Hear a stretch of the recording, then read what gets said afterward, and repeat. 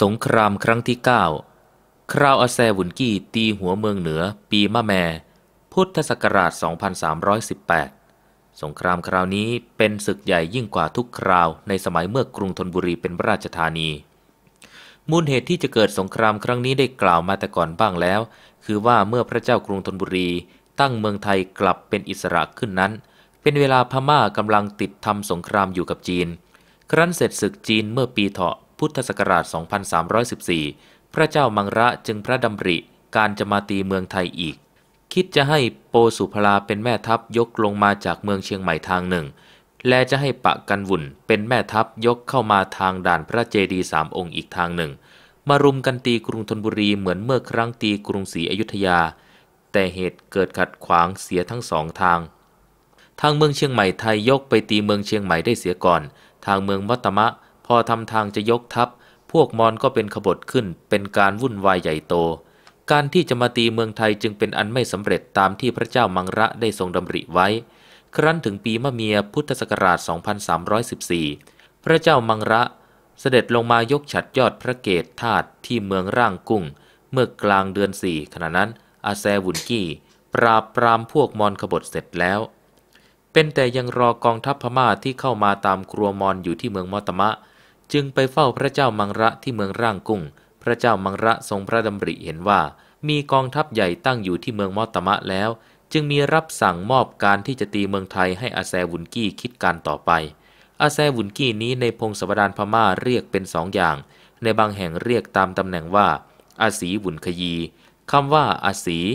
เป็นนามตำแหน่งสำหรับผู้เก็บสวยในที่ดิน ซึ่งพระเจ้าอังวะทรงอุทิศพระราชทานแก่ทหาร คำว่าวุ่นแปลตามศัพท์ว่าภารัธุระคำว่าขยีแปลว่าใหญ่ ถ้าแปลความควบกันวุ่นขยีใกล้กับคำมหาอมาตย์ในยศของไทย ฉะนั้นคำว่าอาศีวุ่นขยี แปลว่ามหาอมาตย์ผู้เก็บสวยสำหรับพระราชทานทหาร เราเอานามนี้มาเรียกว่าอาแซวุ่นกี้ แต่ในพงศาวดารพม่ามักเรียกอีกอย่างหนึ่ง ตามราชทินานามว่า บุญขยี มหาสีหสุระ อาแซวุนกี้คนนี้ ในพงศาวดารพม่าว่าเป็นแม่ทัพคนสำคัญของพม่าอยู่ในเวลานั้น ด้วยจะเป็นแม่ทัพใหญ่ไปรบมีชัยชนะจีนมาไม่ช้านัก เมื่อพิเคราะห์ดูตามรายการสงครามครั้งอาแซวุนกี้มาตีเมืองไทย ที่ปรากฏในหนังสือพระราชพงศาวดารก็เห็นจริงว่าอาแซวุนกี้เป็นผู้ชำนิชำนาญการศึก และมีอัธยาศัยผิดกับแม่ทัพพม่าที่มารบไทยในคราวอื่นๆ โดยมาก ถ้าว่าจะไปในคราวศึกอาแซวุนกี้นี้ ดูเหมือนจะปรากฏความสามารถของแม่ทัพทั้งสองฝ่าย คือข้างฝ่ายไทยพระบาทสมเด็จพระพุทธยอดฟ้าจุฬาโลก และพระเจ้ากรุงธนบุรี ข้างฝ่ายพม่าอาแซวุนกี้ ต่อสู้ไล่เลี่ยกันยิ่งกว่าที่ไทยรบกับพม่ามาในครั้งไหนหมด และผลที่สุดของการสงครามคราวนี้ก็นับว่าเสมอกันได้ด้วยประการทั้งปวง ดังจะเห็นในเรื่องสงครามต่อไป อาแซวุนกี้รับสั่งพระเจ้ามังระกลับมาถึงเมืองมอตมะในเดือน 5 ปีมะแม พุทธศักราช 2318 พอกองทัพตะแคงมรนองหนีไทยกลับไปถึง ชี้แจงการที่กองทัพพม่าเข้ามาเสียที ไทยจับกองทัพงุยอคงหุ่นได้ และตีพม่าอีกกองทัพหนึ่ง แตกยับเยินไปเขาชะงุ้ม ตะแคงมรนองจึงต้องหนีกลับออกไป อาแซวุนกี้พิเคราะห์ดูการเห็นว่า ไทยทำศึกเข้มแข็งกว่าแต่ก่อน จะให้กองทัพยกมาทางเมืองเชียงใหม่ และทางด่านพระเจดีย์สามองค์ เข้ามาสมทบกันที่กรุงธนบุรีอย่างครั้งเมื่อตีกรุงศรีอยุธยา เห็นว่าไทยคงจะชิงตีตัดเสียไม่ให้เข้ามารวมกันได้ การคงจะไม่สำเร็จ อาแซวุนกี้จึงคิดจะตีเมืองไทยตามแบบอย่างครั้งพระเจ้าหงสาวดีบุเรงนอง คือจะยกกองทัพใหญ่เข้ามาตีหัวเมืองเหนือตัดกำลังไทยเสียชั้นหนึ่งก่อน แล้วเอาหัวเมืองเหนือเป็นที่มั่น ยกทั้งกองทัพบบกทัพเรือ ลงมาตีกรุงธนบุรี ทางลำแม่น้ำเจ้าพระยาทางเดียว จึงให้พักบำรุงรีพลอยู่ที่เมืองมัตมะ และมีคำสั่งขึ้นไปยังโปสุพลาโปมยุง่วน ซึ่งถอยหนีไทยไปตั้งอยู่ที่เมืองเชียงแสน ให้ยกกลับลงมาตีเมืองเชียงใหม่ให้ได้แต่ในฤดูฝน แล้วให้เตรียมเรือรบเรือลำเลียง และรวบรวมสเสบียงอาหาร ลงมาส่งกองทัพอาแซวุนกี้ ซึ่งจะยกเข้ามาในต้นฤดูแล้ง โปสุพลาโปมยุง่วน จึงรวบรวมกำลังยกเป็นกองทัพ ลงมาตีเมืองเชียงใหม่เมื่อเดือน 10 ปีมะแม พุทธศักราช 2318 ข้างฝ่ายกรุงธนบุรี ตั้งแต่มีชัยชนะพม่าที่บางแก้วแล้ว มีเวลาว่างอยู่ห้าเดือนถึงเดือนสิบก็ได้ข่าวว่าโปสุพลามะยุง่วน จะยกกองทัพลงมาตีเมืองเชียงใหม่ พระเจ้ากรุงธนบุรีจึงให้มีตราสั่ง ระเจ้าสุรศรีให้ยกกองทัพหัวเมืองเหนือขึ้นไปช่วยเมืองเชียงใหม่ แล้วให้เจ้าพระยาจักรี คุมกองทัพกรุงธนบุรี หนุนขึ้นไปอีกทัพหนึ่ง วงเล็บเปิดจำนวนพลสองทัพนี้เท่าใดหาปรากฏไม่ วงเล็บปิด รับสั่งไปว่าถ้าตีพม่าถอยไปจากเมืองเชียงใหม่แล้ว ให้เลยตามขึ้นไปตีเอาเมืองเชียงแสนให้สิ้นที่อาศัยของพม่าเสียทีเดียว ฝ่ายโปสุพลาโปมยุง่วน ยกกองทัพพม่าลงมาถึงเมืองเชียงใหม่ก่อนกองทัพไทย ก็เข้าตั้งค่ายประชิดเตรียมจะตีเมือง แต่ทำนองกำลังที่จะรวบรวมลงมาได้ จะไม่แข็งแรงเท่าไรนัก ครั้นได้ข่าวว่ากองทัพไทยยกขึ้นไป โปสุพลาโปมยุง่วน ก็ถอยหนีกลับไปเมืองเชียงแสนหาอยู่รอต่อสู้ไม่ ในพงศาวดารพม่าว่าโปสุพลาเลยยกกลับไปเมืองพม่าทางเมืองนาย หวังจะเข้ามาสมทบกับอาแซวุนกี้ในเมืองไทย แต่ว่าหามาทันกองทัพอาแซวุนกี้ไม่ ฝ่ายอาแซวุนกี้เตรียมทัพพร้อมแล้ว ถึงเดือน 11 ปีมะแมก็ให้กะละโบ กับมังเยยางู ผู้เป็นน้องชายคุมกองทัพหน้าจำนวนพลสองหมื่นยกออกจากเมืองมัตตมะ แล้วอาแซวุนกี้ยกทัพหลวงจำนวนพล 15,000 หนุนมากับตะแคงมรนอง และเจ้าเมืองตองอู กองทัพพม่าเดินทางด่านแม่ละเมาเข้ามาเมืองตาก ฝ่ายเจ้าเมืองกรมการตามหัวเมืองไทยรายทางไม่มีกำลังพอจะต่อสู้ ต่างก็พาครัวราษฎรอพยพหลบหนีกองทัพพม่าจึงเดินจากเมืองตากมาทางบ้านด่านลานหอย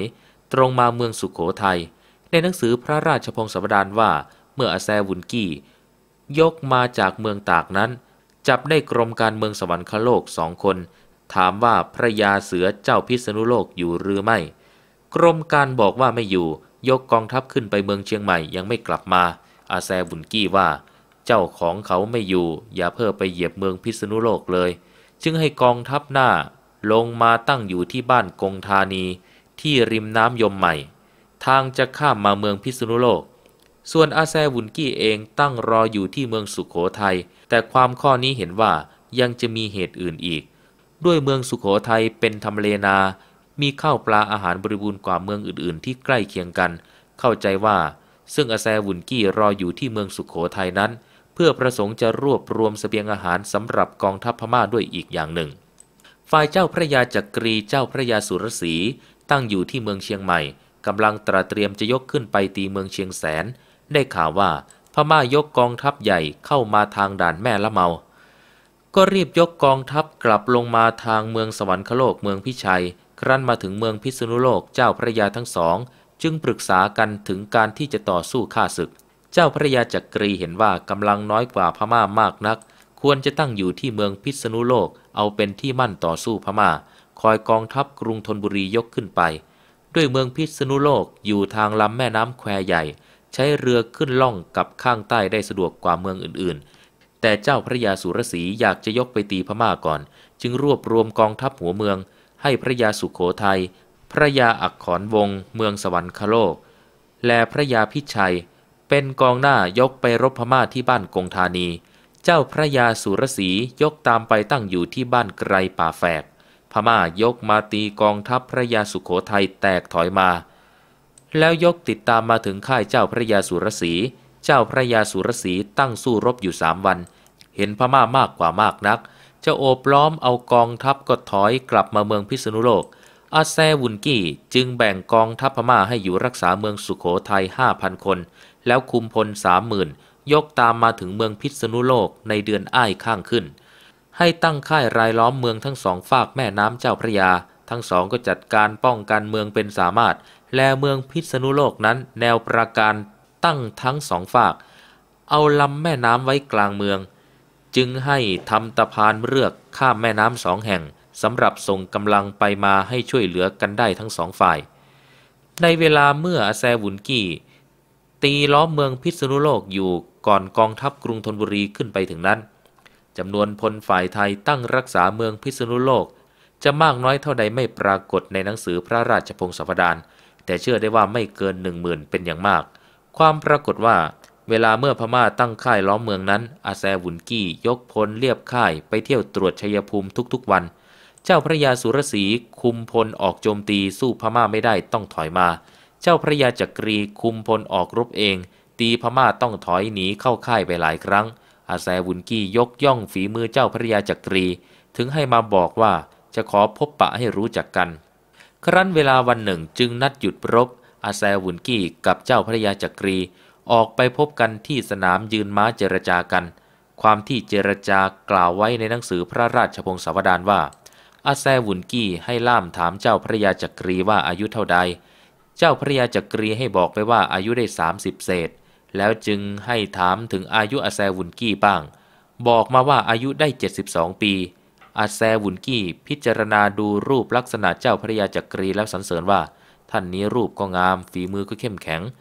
สู้รบเราผู้เป็นผู้เท่าได้ จงอุตสาห์รักษาตัวไว้ ภายหน้าจะได้เป็นกษัตริย์เป็นแท้ แล้วให้เอาเครื่องม้าทองสำรับหนึ่งกับสักกลาดพับหนึ่งดินสอแก้วสองก้อน น้ำมันดินสองหม้อมาให้เจ้าพระยาจักรี เจ้าพระยาจักรีก็ให้ของตอบแทนตามสมควร เมื่อก่อนอาแซวุนกี้จะกลับไปค่าย ให้ล่ามบอกเจ้าพระยาจักรีว่า จงรักษาเมืองไว้ให้มั่นคงเถิด เราจะตีเอาเมืองพิษณุโลกให้จงได้ในครั้งนี้ ไปภายหน้าพม่าจะมาตีเมืองไทยไม่ได้อีกแล้ว และในวันนั้นหยุดรบกันทั้งวัน ถึงพวกฐานพม่าชวนฐานไทยเข้าไปกินอาหารในค่ายไม่ได้ทำอันตรายแก่กัน ฝ่ายกรุงธนบุรีเมื่อได้ข่าวว่าอาแซวุนกี้ยกกองทัพใหญ่เข้ามาทางหัวเมืองเหนือ ขณะนั้นเห็นจะมีใบบอกหัวเมืองปักใต้เข้ามาว่า พม่ายกมาจากเมืองตะนาวศรีอีกทางหนึ่ง ด้วยพระเจ้ากรุงธนบุรีไม่ไว้พระไทยจึงดำรัสสั่งให้เกณฑ์กองทัพ ให้พระเจ้าหลานเธอ เจ้ารามลักษ์ซึ่งเป็นกรมขุนอนุรักษ์สงคราม คุมออกไปรักษาเมืองเพชรบุรี คอยป้องกันพม่าที่จะยกมาทางด่านสิงขอน แต่ทางเมืองกาญจนบุรี และเมืองราชบุรีที่จะป้องกันพม่าซึ่งจะยกมาทางด่านพระเจดีย์สามองค์ จะได้แต่งให้ผู้ใดไปตั้งที่ไหนป้างรืออย่างไร ไม่ปรากฏในหนังสือพระราชพงศาวดารครั้นจัดการป้องกันข้าศึกซึ่งจะยกมาทางทิศใต้ฝ่ายตะวันตกแล้ว พระเจ้ากรุงธนบุรีก็เสด็จยกกองทัพหลวง มีจำนวนพล 12,000 เศษ ออกจากพระนครเมื่อนวันอังคารเดือนยี่แรม 11 ค่ำปีมะแม่ ขึ้นไปต่อสู้กองทัพใหญ่ของข้าศึก ซึ่งยกเข้ามาทางหัวเมืองฝ่ายเหนือ ท่านผู้ฟังจะได้รับฟัง พงศาวดารเรื่องเรารบพม่า